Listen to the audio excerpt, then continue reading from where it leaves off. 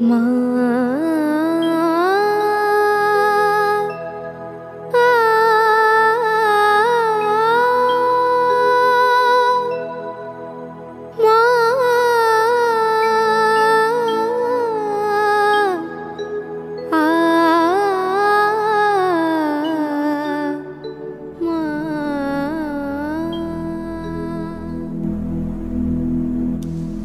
নমস্কার দর্শক বন্ধুরা আজ আমরা চলে এসেছি দক্ষিণেশ্বর মন্দিরের কিছু জানা ও অজানা তথ্য নিয়ে।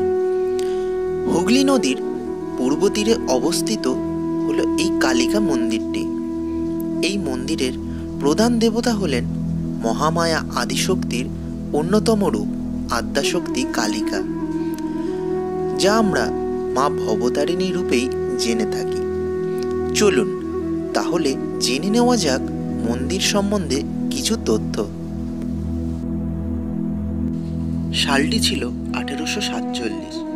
রানী রাসমণি ঐশ্বরিক মায়ের প্রতি তার ভক্তি প্রকাশ করার জন্য পবিত্র হিন্দু শহর কাশিতে যাওয়ার জন্য তিনি প্রস্তুত হন। আত্মীয় স্বজন চাকর বাকর ও দ্রব্য সামগ্রী নিয়ে চব্বিশটি নৌকায় যাত্রা করতে হয় রানীকে। ঐতিহ্যগত বিবরণ অনুসারে তীর্থযাত্রা শুরুর ঠিক আগের রাতে রানী রাসমণি স্বপ্নে দেবী মা কালীর দর্শন পেয়েছিলেন এবং কথিত আছে যে মা কালী স্বপ্নাদেশ দিয়ে রানীকে বলেছিলেন, বেনারস যাওয়ার দরকার নেই। গঙ্গা নদীর তীরে একটি সুন্দর মন্দিরে আমার মূর্তি স্থাপন কর এবং সেখানে আমার পূজার ব্যবস্থা কর। তখন আমি মূর্তিতে নিজেকে প্রকাশ করব এবং সেই স্থানেই পূজা গ্রহণ করব। পৌঁছে গেছি, দক্ষিণেশ্বর মন্দিরে, এখানে খুবই আওয়াজ হচ্ছে, তাই জন্য আমি অল্প কিছু কথা বলছি। তো আগে আমরা একটা কাজ করি মন্দিরে ঢুকে পুজোটা দিয়ে দিই, তারপরে তোমাদের সাথে আমরা কথা বলছি স্বপ্নের দ্বারা গভীরভাবে প্রভাবিত রানী অবিলম্বে দক্ষিণেশ্বর গ্রামে একটি তিরিশ হাজার একর জমির সন্ধান করেন এবং ক্রয় করেন। বিশাল এই মন্দিরটি আঠেরোশো সাতচল্লিশ থেকে আঠেরোশো পঞ্চান্ন সালের মধ্যে নির্মিত করা হয়েছিল। রানী এই জমিটি ইংরেজ যে খেষ্টির কাছ থেকে কিনেছিলেন। তখন এটি সাহেবান বাগিচা নামেই পরিচিত ছিল মানুষজনের কাছে। আমরা এখন রানী রাসমণি স্কাইওয়াক দিয়ে হেঁটে চলেছি মন্দিরের পথে। মন্দির খুলবে সাড়ে তিনটের সময়। এখন বাজে তিনটে কুড়ি। তো তাড়াতাড়ি একটু যাই গিয়ে তাড়াতাড়ি পুজোটা আগে দিয়ে দিই। তারপর তোমাদের সাথে কথা হচ্ছে। তারপর তোমরা আগে একটু সাইট সিনগুলো ভালোভাবে দেখে নাও ঠিক আছে? চলো। দক্ষিণেশ্বর মন্দিরটি যে জমির ওপরে বা প্লটটির উপরে স্থাপিত তা আগে ছিল একটি মুসলমান কবরস্থান। তন্ত্রের ভাষায় কবরস্থানটি কচ্ছপের মতন আকৃতির হওয়ায় শক্তির উপাসনার জন্য একেবারে উপযুক্ত। এই এত বড় নির্মাণটি সম্পূর্ণ করতে আট বছর সময় লেগেছিল এবং ব্যয় হয়েছিল ন লক্ষ টাকা। প্রায় দু হাজার আঠেরোতে এসেছিলাম তারপর থেকে লকডাউন এই এলাম। কেমন লাগছে এখন বল?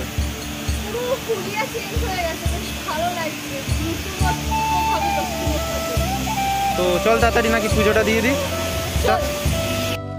রামকুমার চট্টোপাধ্যায়ের সহিত পুরোহিতগণ আঠেরোশো পঞ্চান্ন সালের একত্রিশে মে স্নানযাত্রার দিন দেবীকালীর মূর্তিটি স্থাপনা করেছিলেন। প্রথমে মা ভবতারিণীর নাম মা জগদেশ্বরী বা শ্রী জগদেশ্বরী কালী নামেই পরিচিত হয়েছিল। পরে তা মা ভবতারিণী রূপে প্রকাশ পায়।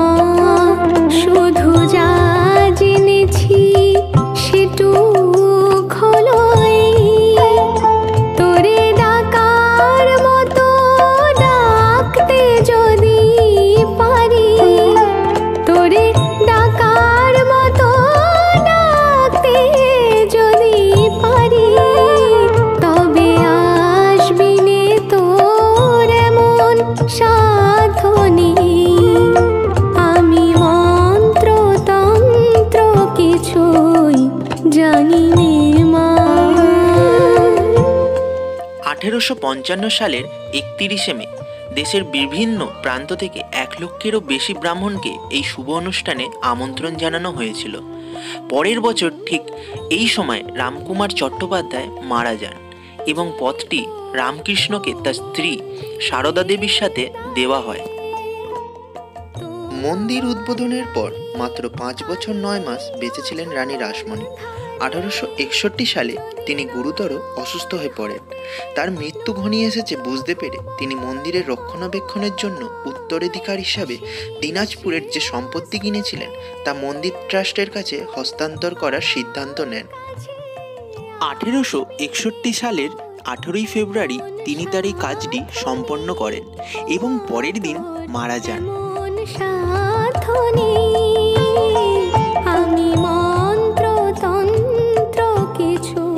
একটু প্রসাদটা কিনে নিই তো প্রসাদটা কিনবো এদিক দিয়ে ঢুকবো, ঢোকার পরে ওদিক দিয়ে প্রসাদ কিনে জুতো খুলে গিয়ে পুজোটা দিয়ে আসি। তো আমি তো আগে কখনো এখানে আসিনি, তাই জন্য আমার একটু গুলিয়ে গেছিল। মায়েরা একটু এগিয়ে গিয়েছিল, আমি একটু পরে চলে এসেছিলাম। তো খুঁজে পাচ্ছিলাম একটু সময়টা চলে গেল। তো যাই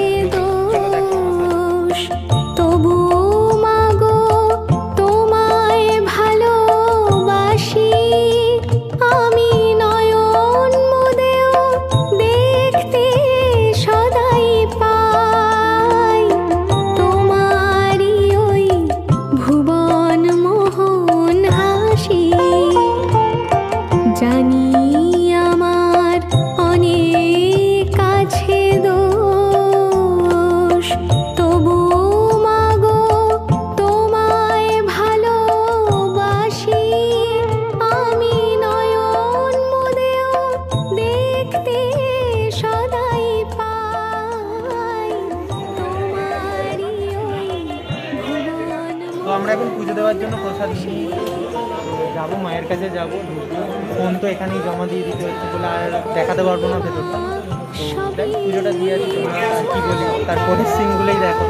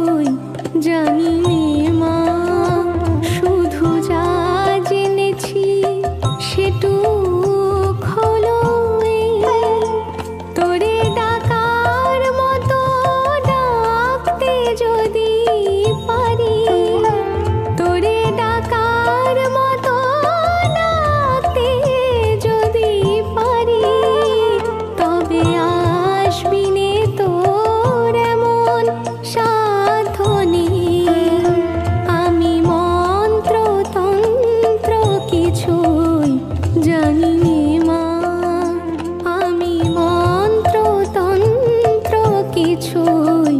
জানি মা।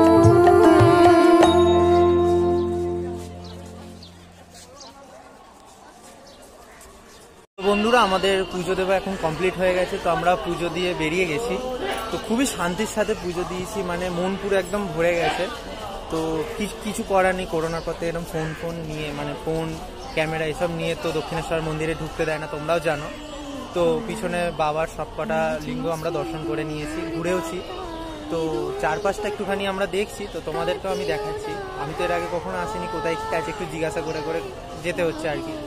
তো আশা করি তোমাদের ভিডিওটা ভালো লাগছে। যদি ভিডিওটা ভালো লেগে থাকে তো প্লিজ একটা সাবস্ক্রাইব করে দেবেন একটু হাতে ফ্রি সময় পেলেই আমি আবার ভিডিও তোমাদের জন্য বানাই। এই ভিডিওটা বানাতে আমার ভালো লাগে আশা করি তোমাদের ভিডিওটা ভালো লাগে একটা লাইক করে দিও। চলো এইটুখানি বলা যে মহাশক্তির হয় না বিসর্জন অন্তরে বাহিরে। নাইন স্পিয়ার শৈলীতে নির্মিত। তিনতলা বিশিষ্ট দক্ষিণমুখী মন্দিরটির উপরের দুই তলায় নয়টি স্পিয়ার বিতরণ করা হয়েছে এবং সিঁড়ি দিয়ে একটু উঁচু প্ল্যাটফর্মে দাঁড়িয়ে আছে। সামগ্রিকভাবে এর পরিমাপ ছেচল্লিশ ফুট, অর্থাৎ চোদ্দ মিটার, এবং একশো ফুট, অর্থাৎ তিরিশ মিটার উঁচুতে উঠে যায়। গর্ভগৃহে মা কালীর যে মূর্তিটি রয়েছে, তা আমরা ভবতারিণী নামেই জেনে থাকি। এই ভবতারিণী মা একটি সুপিন শিবের বুকে দাঁড়িয়ে রয়েছেন এবং দুটি মূর্তি রূপার তৈরি একটি হাজার পাপড়ি বিশিষ্ট পদ্মের সিংহাসনে স্থাপন করা হয়েছে। মূল মন্দিরের কাছাকাছি বারোটি অভিন্ন শিব মন্দিরের সারি রয়েছে, যা সাধারণ আটচালা বেঙ্গল স্থাপত্যে পূর্ব দিকে নির্মিত। এগুলি হুগলি নদীর ঘাটের দুপাশে নির্মিত। মন্দির কমপ্লেক্সের উত্তর পূর্বে বিষ্ণু মন্দির বা রাধাকান্ত মন্দিরও রয়েছে। একটি রূপার সিংহাসনে একুশ ইঞ্চি ভগবান কৃষ্ণের মূর্তি এবং একটি ষোলো ইঞ্চি রাধার মূর্তিও রয়েছে।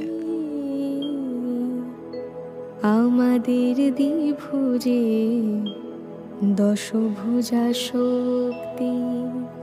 দে পরম ব্রহ্মময়ী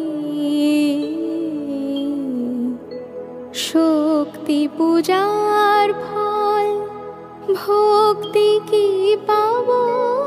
শুধু হব নাকি বিশ্বজয়ী? এই পূজা বিলাস সংহার কর। কেমন লাগল বাবু ঘুরে? ভালো লেগেছে?